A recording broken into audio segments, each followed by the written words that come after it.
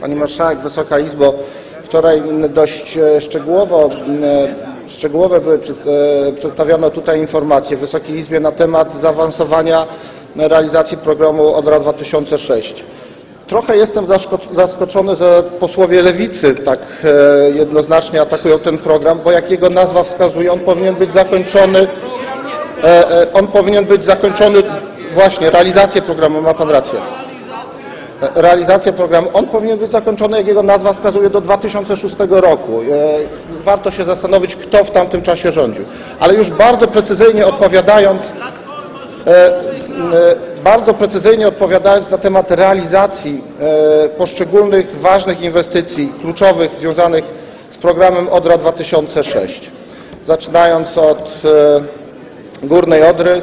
E, Wojewoda Śląski kilka miesięcy temu wydał decyzję pozwalającą na realizację zbiornika przeciwpowodziowego w Raciborzu. W tej chwili jesteśmy na etapie wyłaniania wykonawcy robót. Myślę, że w ciągu najbliższego miesiąca, może dwóch, jak nie będzie na jakichś nadzwyczajnych odwołań, e, zostanie wyłoniony wykonawca robót, plac budowy zostanie przekaza- przekazany.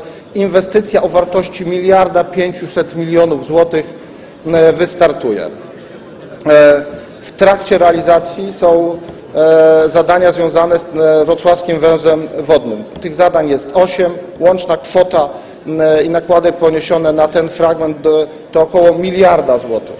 W trakcie realizacji zapraszam tych, którzy nie chcą, e, e, nie wierzą do odwiedzenia na przykład miasta Lewin Brzeski na Nysie Kłodzkiej. Ktoś tutaj mówił dzisiaj o Nysie Kłodzkiej. Tam realizowany jest program związany z przebudową koryta rzeki oraz obwałowań ze śluzą, z jazem. E, Kwota tego zadania to 120 milionów złotych w trakcie. E, Rozstrzygnięto, wyłoniono i przekazano place budowy. W trakcie realizacji są zadania związane z modernizacją zbiornika Nyskiego. Łączna, tam są dwa zadania, łączne nakłady na ten cel to jest 400 milionów e, złotych.